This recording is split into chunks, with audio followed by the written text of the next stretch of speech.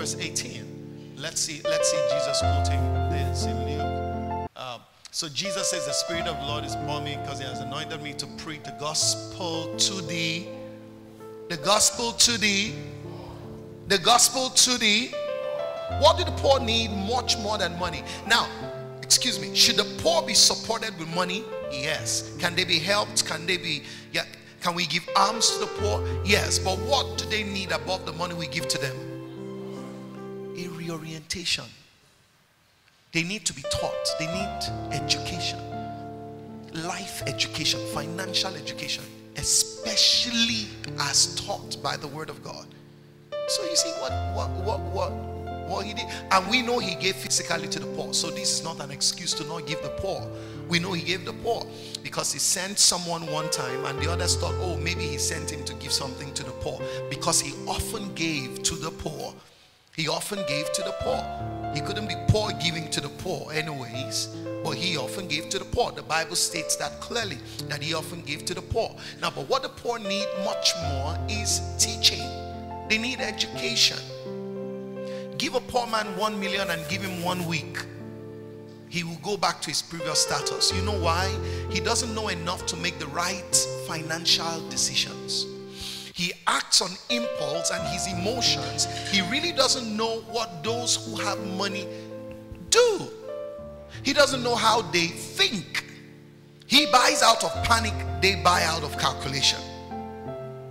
Concerning the Proverbs 31 woman who was financially wealthy, the Bible says she considered a field and bought it. But a poor man will buy just because he has the money to buy it.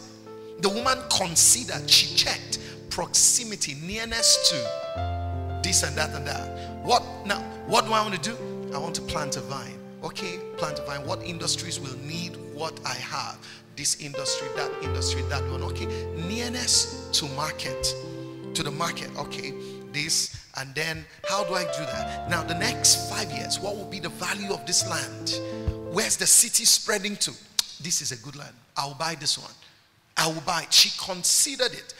Now, the rich make informed decisions, the poor make emotional decisions.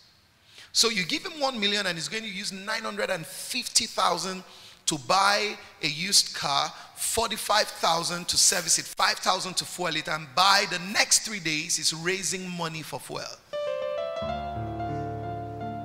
Before long, his tires are worn and he can't change them.